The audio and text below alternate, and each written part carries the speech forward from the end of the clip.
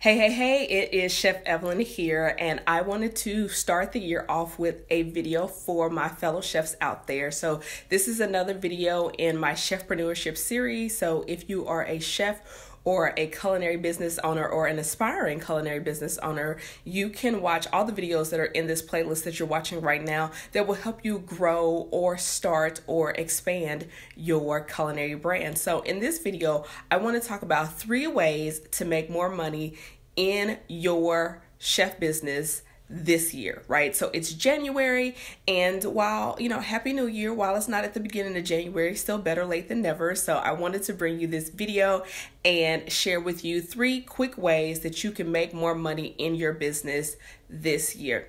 The first way, which I think is obviously the most common way that people think about, is to just get more clients. So you can increase your marketing, you can analyze your marketing to see what was working and spend more energy on that, and analyze your marketing to see what's not working and stop doing that. And you obviously need to have the metrics in place to know what's working, what's not working, and so that uh, you can figure out what to amp up, what to increase, but to get more clients. And so I think that's the easiest way. But there's two more ways to make money in extra money or additional money in your business this year and the first, the second one is to increase your prices. A lot of times I see with chefs is that they are significantly undercharging for their products and services.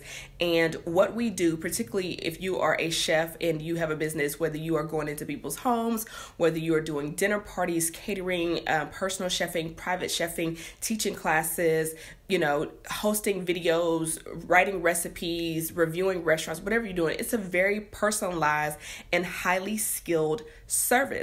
And the reason why some chefs struggle to price correctly is because it comes so easy to you. And so sometimes we don't do a really good job of putting an accurate price on the value that we're providing our clients and our customers. So the second thing that you can do is to increase your prices. And a lot of times, I can tell you, you probably need to increase your prices way more than you think. And a lot of times I'll have chefs ask me, hey, you know, I'm just starting out. Should I start with low prices? No. One, why does anybody need to know that you're just starting out? And two, if you start at low prices, at what point will you decide that your products or services are worth more? You base your price not about how long you've been in business. You base your price on the value that you're offering and the experience that you're offering. That's what you base your prices on. And then the third way which is my favorite way. So my my this the third way that i'm about to share is my favorite way. Increasing your prices is my second favorite way but this is my absolute most favorite way to bring an additional income into your culinary business is to have multiple streams of income.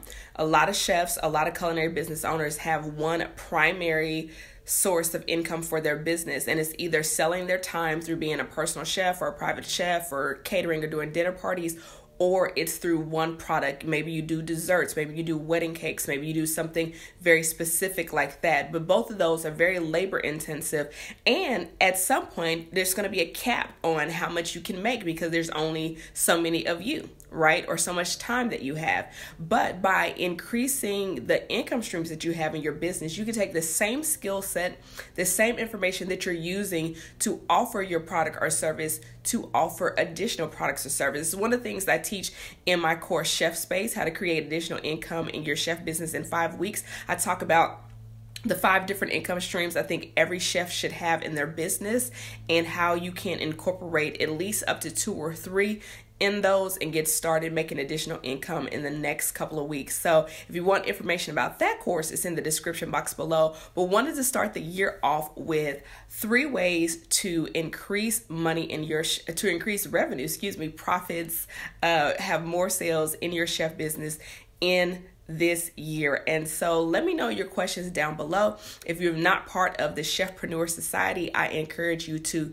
join. If you are watching this on YouTube, make sure you subscribe, turn on your notifications because you're not going to miss all the videos that I upload under the Chefpreneurship series. So keep watching another video in this series, and I'll see you in the next video. Peace.